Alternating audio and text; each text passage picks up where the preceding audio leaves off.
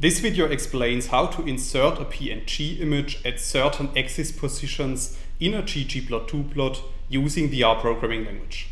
So without too much talk, let's dive into the R code. In this video I will show you an example and this example is based on the data frame that we can create with lines 2 to 4 of the code. So if you run these lines of code, you can see at the top right of RStudio that a new data frame object is appearing, which is called data. And if you click on this data frame, a new window is opened, which is showing the structure of our data frame. And as you can see, our data frame contains two columns, which are called X and Y. And both of these columns contain numeric values. Now, if we want to draw these data using the ggplot2 package, we also need to install and load the ggplot2 package, as you can see in line 6 and 7 of the code. I have installed the package already, so for that reason I'm just going to load it with line 7 of the code. So after running this line of code, we are able to use the functions of the ggplot2 package, such as ggplot and geompoint, as you can see in lines 9 to 12. So if you run these lines of code, you can see at the top right of RStudio that a new plot object is appearing, which is called myPlot. And we can draw this plot to the bottom right of RStudio by running line 13 of the code. And then you can see that we have created a scatter plot with certain axis limits. Now let's assume that we want to add a PNG image to this plot at a certain axis position. Then we first need to load a PNG image and in this example, I'm downloading a PNG file from Wikimedia, which is containing the flag of Switzerland. So if you run lines 15 to 17 of the code, a new PNG image of the flag of Switzerland is downloaded. And then in the next step, we need to import this PNG file into R. And we can do that using the PNG package. And first we need to install and load this package as you can see in lines 19 and 20 of the code. I have installed this package as well, so for that reason I'm just going to load it with line 20 of the code. So after running this line of code, we are able to use the read png function as you can see in line 22.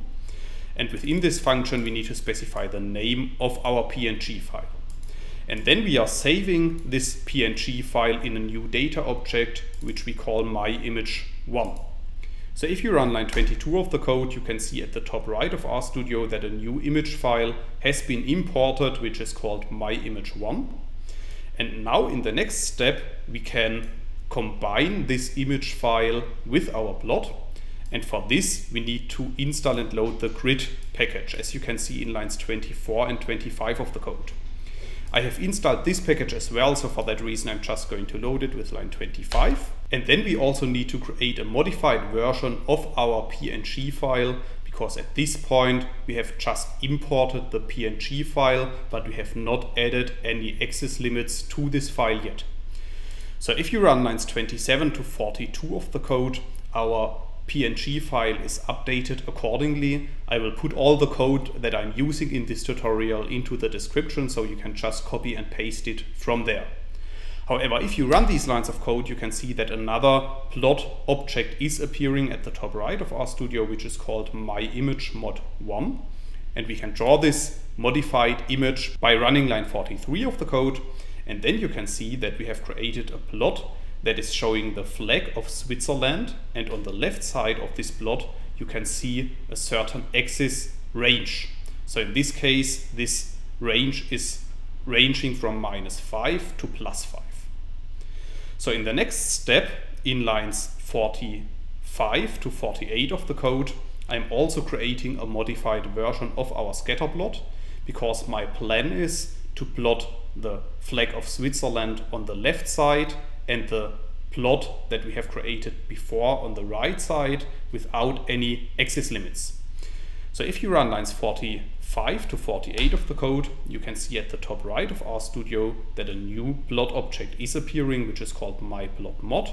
And by running line 49 of the code, you can see that we have created a scatter plot without any axis limits on the left side of the plot. So if we now want to combine our PNG file and our scatter plot, we also need to install and load the patchwork package, as you can see in lines 51 and 52 of the code. I have installed this package already, so for that reason I'm just going to load it with line 52. And after running this line of code, we can use the syntax of the patchwork package, as you can see in line 54. And in this line of code, I'm simply adding the plot object which is containing the flag of Switzerland to the plot object which is containing our scatter plot. So if you run line 54 of the code, you can see at the bottom right that our plot is updated and as you can see this time we have added the flag of Switzerland with a y-axis limit on the left side of the plot window and our scatter plot with x-axis limits on the right side of the plot.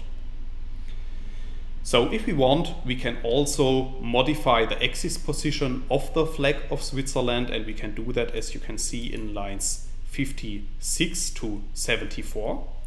So in lines 56 to 71, I'm creating another modified version of our Switzerland flag.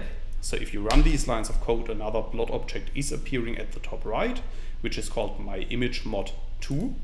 And in line 72 of the code, I'm drawing this plot. And after running this line, you can see that we have created another modified version of our flag of Switzerland. And this time the flag of Switzerland is ranging from the y-axis positions minus 2.5 to plus 4. And we have done that in line 71 of the code because here you can see the y min and y max arguments are specified according to the limits of the flag of Switzerland. Now in the next step we can add this modified version of the flag of Switzerland to our scatter plot as you can see in line 74 of the code. So if you run these lines of code you can see that another plot is created at the bottom right and this time we have added the flag of Switzerland to the left of our scatter plot in a certain y-axis limit range. So until now we have combined one PNG file with one plot object. However, it's also possible to add multiple PNG files to a plot and this is what I want to show you in the next example starting in line 76. So in this line of code I'm downloading another flag. So this time I'm downloading the flag of Germany.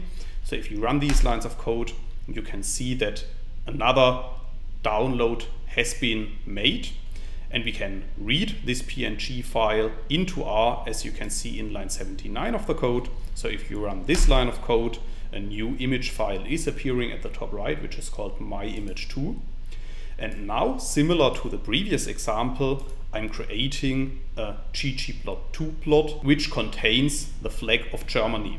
So if you run lines 81 to 99 of the code, a new plot object is appearing at the top right, which is called myImageMod3. And as you can see, this time we are annotating two images. So in lines 94 to 96, I'm annotating the first image, the flag of Switzerland.